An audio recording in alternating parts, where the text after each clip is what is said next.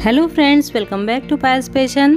आपने भेल कई बार खाई होगी, पर मैं आज आपके लिए बिल्कुल ही नई तरह की भेल की रेसिपी लेके आई हूँ, जो कि है चिजलिंग भेल की रेसिपी और ये बहुत ही सिंपल तरीके से बन जाती है, बहुत इजी होता है इसको बनाना, पर ये खाने में बहुत ही ज़्यादा टेस्टी लगती है।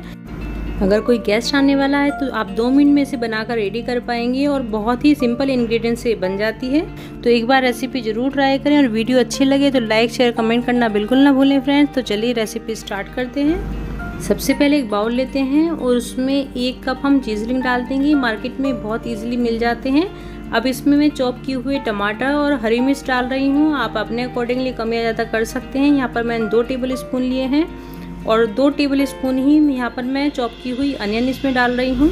अब इसमें थोड़ा सा टैंगी फ्लेवर देने के लिए यहाँ पर मैं हरे धनिया की चटनी ले रही हूँ। ये एक चम्मच मैं इसमें डाल दूँगी, बहुत ज़्यादा ना डालें, वरना ये सोगी हो जाएँगे और क्रंच इनका ख़त्म हो जाएगा। और ये तभी बनाएँ जब आपको खानी हो इमीडिएटली बनाकर खाएँ, वरना ये सॉफ्ट हो जाती हैं। अब इसमें एक चम्मच में इमली की चटनी डाल रही हूँ। अगर आपके पास ये नहीं है तो आप टमाटो सॉस में थोड़ा सा पानी मिला के यूज़ कर लीजिएगा। इसमें बिल्कुल चाट वाला टेस्ट आता है ये सब चीज़ें डालने से। और देखिए, थोड़ा सा मैं यहाँ पर नमक डाल रही हूँ, क्योंकि चीजलिंग में भी अपना नमक होता है और चटनी और सॉल्ट में भी। अब हाफ़ टी स्पून में इसमें रेड चिली पाउडर डाल रही हूँ और हाफ़ ही टी स्पून मैंने यहाँ पर चाट मसाला लिया है। और अब इसमें हम डाल देंगे थोड़ा सा भुना हुआ जीरा। ये भुना हुआ जीरा है जो पीस लिया है मैंने।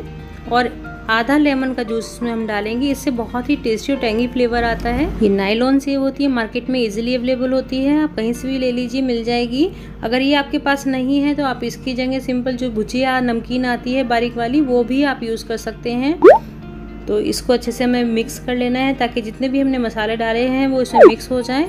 तो ये बहुत ही क्विक रेसिपी है और इमिडिएटली ही इसको खाना होता है अदरवाइज़ ये सोगे हो जाते हैं, वो अच्छे नहीं लगते हैं फिर।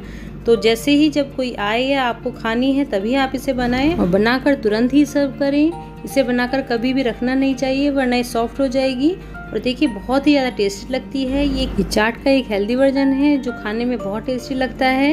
तो जब भी आपका कुछ चटपटा खाने का मन करे तो आप इस तरह से चाट बनाइए, खाइए और अपने एक्सपीरियंस मेरे साथ ज़रूर शेयर कीजिएगा फ्रेंड्स तो चलिए, एक बार फिर इस तरह की क्विक रेसिपी के साथ मिलती हूँ। तब तक के लिए good bye friends thanks for watching